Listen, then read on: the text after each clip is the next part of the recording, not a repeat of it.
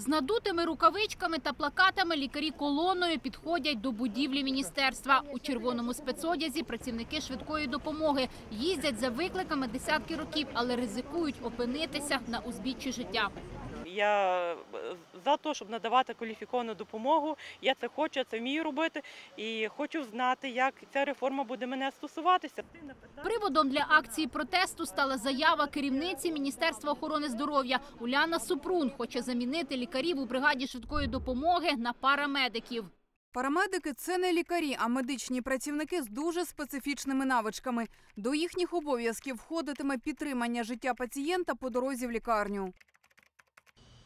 Лікарі попереджають, така реформа обернеться їхнім масовим звільненням і такою ж загибеллю пацієнтів. Парамедик має надавати лише первинну медичну допомогу і доправити хворого до лікарні. Однак є діагнози, перед якими парамедики безсилі.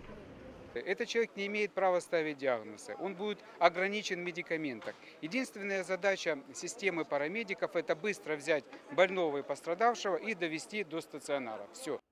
Лікарі певні, з новою системою доведеться госпіталізовувати ледь не всіх, хто викликав бригаду. З таким напливом пацієнтів лікарні просто не справляться. В Україні немає лікарень, особливо в сільській місцевості. В Україні немає доріг.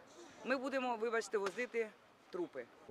Двогодинні стинання про масові звільнення і трупи у каретах швидкої не розчулюють керівницю Мінохорони здоров'я. Ініціативна група йде на штурм.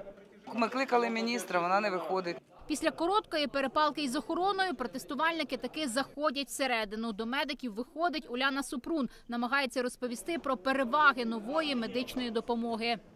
іде покращення цієї системи. Водії будуть навчатися, щоб допомагати. Парамедики це фельдшери, які є фельдшери невідкладних станів. Ты понимаешь, что вы не специалист. Как можно назвать фельдшера, про- проучившегося три года, парамедиком? Четыре года. Это все, над этой профессией конец. Присоромлена підлеглими керівниця Мінохорони здоров'я скаржиться на брак часу і невідкладні справи. Роз'яснити деталі своєї реформи Уляна Супрун відмовляється навіть журналістам.